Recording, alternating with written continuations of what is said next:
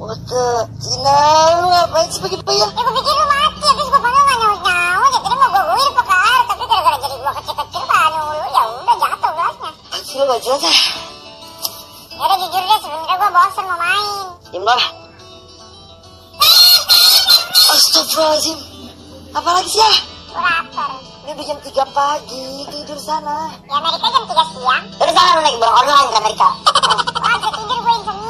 Lu kucing monyet gak ada cerita insom. Gue kucing by the way bukan monyet. Bodo amat. Gue kucing by the way bukan monyet.